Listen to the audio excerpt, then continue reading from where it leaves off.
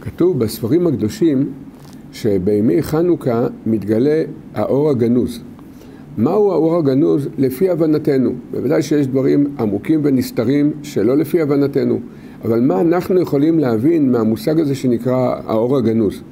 המושג של האור הגנוז אומר החיבור והקשר של הקדוש ברוך הוא עם כל נשמות ישראל.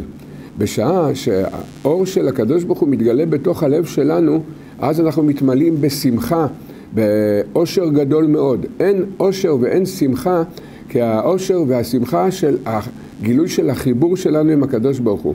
הימים של חנוכה הם מבחינת ימים שאנחנו מודים על הניסים ועל הנפלאות שעשית עם אבותינו.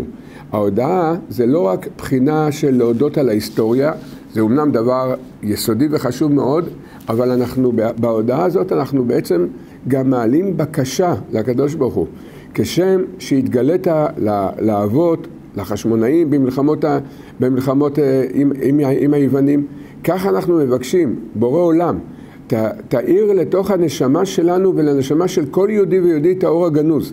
וברגע שמאיר בתוכנו האור הגנוז, מיד יהודי מתחבר עם הקדוש ברוך הוא. לא צריך לדבר הרבה. הוא, כל נשמה יהודית יודעת שיש מלך לעולם, שיש בורא לעולם, והקדוש ברוך הוא נתן לנו את התורה. זה מוטבע בתוכנו, מצד הנשמה האלוקית שהקדוש ברוך הוא נתן לנו. בחנוכה זה הימים שמסוגלים לגילוי האור הזה, ואנחנו צריכים להתפלל שאנחנו וכלל ישראל נזכה לקבל את האור הזה, והקדוש ברוך הוא יגאל אותנו ברחמים ובחסדים. הירשמו לערוץ של הרב ויישארו מעודכנים.